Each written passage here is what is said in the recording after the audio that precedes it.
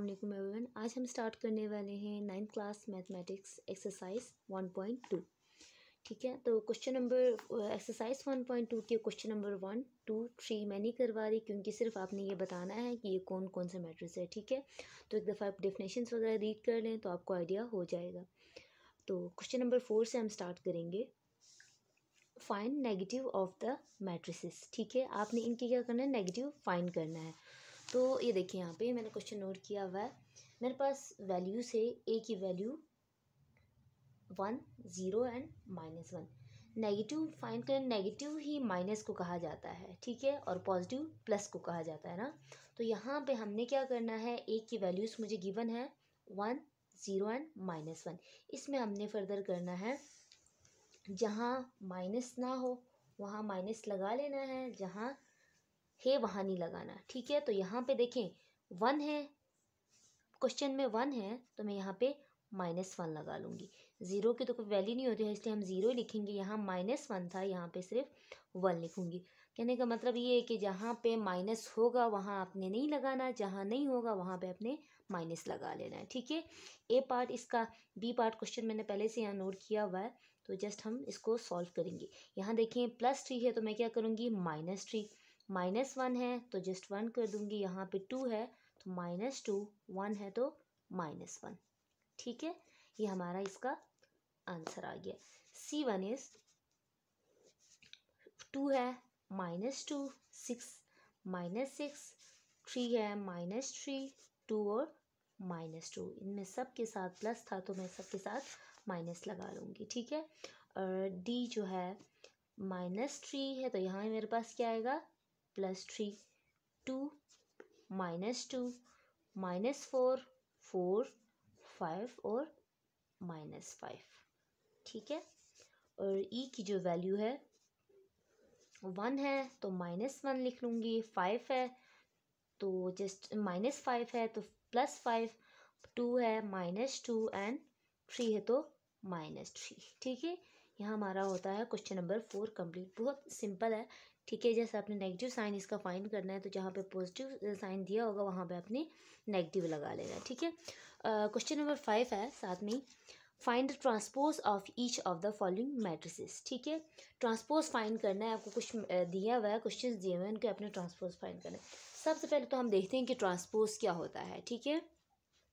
Transpose में ये होता है जैसे आपको कोई वैल्यू दी हुई कोई भी मैट्रिक्स मैं यहाँ पे एक एग्जांपल ले लेती हूँ, ठीक है? जी आप यहाँ जैसे आपके पास है two zero three and one है, ठीक है? तो ट्रांसपोज में क्या होता है, इसमें आपने जो रो में हो, उसे कॉलम में लिखना होता है। जैसे यहाँ, ये मेरे पास एक, दो रो है, ठीक है? दो कॉलम है। इसे हम रो कहते हैं। ठीक है? और ये जो है मेरे पास कॉलम है। ठीक है? तो देखिए, ट्रांसपोज में हम क्या करते हैं? यहाँ रो में जो हो, उसे हम कॉलम में लिखते हैं। जैसे टू एंड ज़ीरो रो में है तो मैं यहाँ पे टू एंड ज़ीरो कॉलम में लिखूँगी। यहाँ पे थ्री एंड वन रो में है तो मैं यहाँ पे थ्री एंड वन जो है ना, वो कॉलम में लिखूँगी। ठीक है? ट्रांसपोज हम ऐसे फाइंड करें। मैंने ऐसे ऐसे एग्ज़ाम्पल दे दिए ताकि आपको समझ आ जाए कि हमने ट्रांसपोज कैसे फाइंड करना है, ठीक है? तो यहाँ देखें क्वेश्चन में ही देख लेते हैं।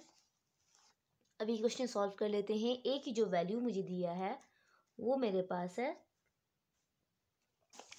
zero one N minus two zero one N minus two ठीक है, ये मुझे ए की वैल्यूज़ दी हुई है। अब मैंने इसका क्या करना है? ट्रांसपोज फाइंड करना है। तो मैं यहाँ लिख लेती हूँ। ए का ट्रांसपोज ए की वैल्यू एक दफ़ा आपने लिख लेना है, फिर आप ए का ट्रांसपोज तो आप लिखेंगे ए का जो ट्रांसपोज आएगा, वो मेरे पास आएगा। हम क्या करते थे? कॉलम में हो तो रो में रो में हो तो कॉलम में। ये मेरे पास कॉलम में है तो मैं क्या करूँगी? यहाँ इसको रो में लिख लूँगी। Zero one and minus two ठीक है? आपने ऐसे करके इनका ट्रांसपोज फाइंड करना है। और सेकंड वाला है बी पार्ट वैल्यू है मेरे पास B equals to five one and minus six इसका भी जब मैं ट्रांसपोज फाइंड करूँगी, ये नेक्स्ट स्टेप है, ठीक है? B transpose is equals to क्या आएगा? मेरे पास, ये मेरे पास कॉलम में है, ठीक है? तो याद रखें कॉलम में है तो मैंने क्या करना सॉरी रो में है तो मैंने क्या करना था इसको? कॉलम में करना था वन एंड माइनस सिक्स ठीक है?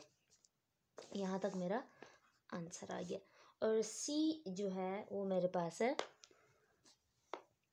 One two two minus one three and zero ठीक है?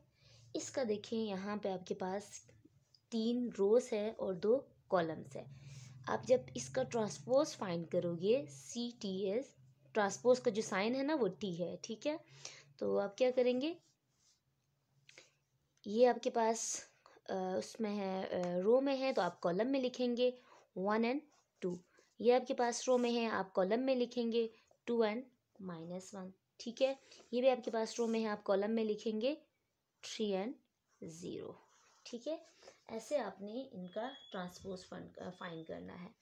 बस लास्ट वाला रहता है डी वाला तो डी ई e भी है एफ़ भी है तो आपने वन बाय वन ऐसे करके इनका फाइंड करना है। ठीक है ई e वाला मैं करा देती हूँ, ये थोड़ा सा फाइन आपने ऐसे ही करना है, लेकिन थोड़ा सा वो डिफरेंट है, ताकि आपको मुश्किल ना हो क्वेश्चन सॉल्व करने में। ठीक है E one is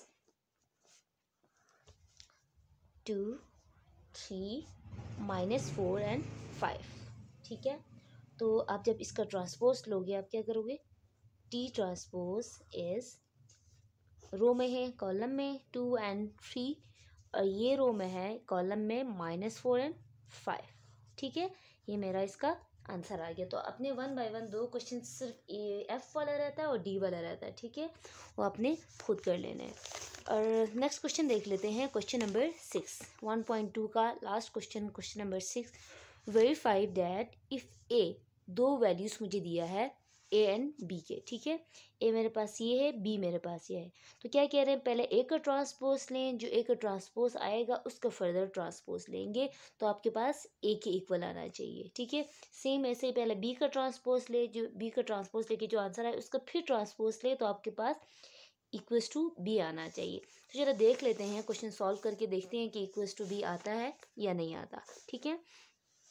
सो मुझे ए की वैल्यूज़ दी हैं क्वेश्चन नंबर सिक्स ए की वैल्यू गिवन है। One two zero and one और बी की वैल्यूज़ है। One one two and zero ठीक है? क्वेश्चन है A transpose whole transpose A transpose का whole transpose equals to A ठीक है? तो हम जो है ना left side left hand side ले लेते हैं। ये वाला, ठीक है? Left hand side is A transpose a whole transpose अब देखें यहाँ पे हम सॉल्व कर लेते हैं। ए ट्रांसपोज मेरे पास क्या आएगा? ए ट्रांसपोज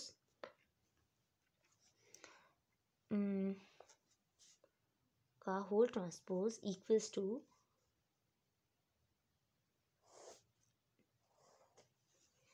one क्या है? वन टू और यहाँ पे एक एक ही वैल्यू जी गिवन है ना, मैं वही लिख रही हूँ, ठीक है? Zero and one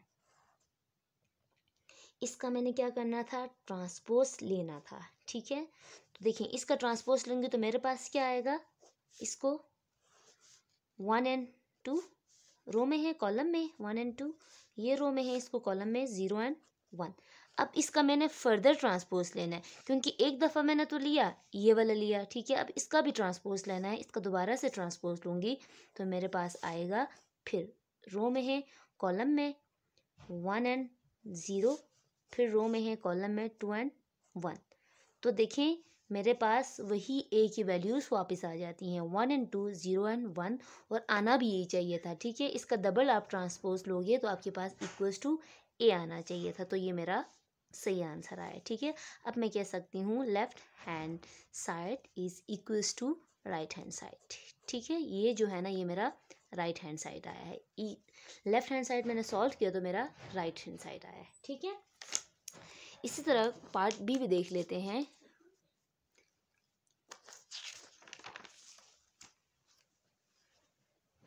Part two is B transpose का whole transpose equals to B ठीक है? तो बी की वैल्यूज़ मेरे पास क्या है? बी का ट्रांसपोज ले रही हूँ, सिर्फ़ मैं बी का ट्रांसपोज ले रही हूँ, ठीक है? तो मेरे पास क्या आएगा यहाँ पे? पहले बी की वैल्यूज़ लिख लेते हैं। One one two and zero ठीक है? इसका हम ट्रांसपोज ले रहे हैं तो मेरे पास क्या आएगा? वन एंड वन दोनों रो में है, ये टू एंड ज़ीरो इसका ट्रांसपोज आ गया। अब मैंने क्या करना है? बी ट्रांसपोज का होल ट्रांसपोज लेना है। तो मेरे पास क्या आएगा? इसका मतलब फर्दर ट्रांसपोज लेना है। तो मेरे पास क्या आएगा? वन एंड टू रो को कॉलम में, इस रो को इस कॉलम में तो वन एंड ज़ीरो तो देखें इक्वल्स टू मेरे पास बी वापस आ गया। उन्होंने मुझे बोला था, इसको जब आप करेंगे तो इक्वल्स टू बी ही आना चाहिए। ये मेरा क्या था? लेफ़्ट हैंड साइड था, ठीक है? और ये जो आंसर आया मेरा right hand side so left hand side equals to right hand side ठीक है? ये हमारा होता है exercise one point two complete if you have any question any confusion you can ask me okay thank you so much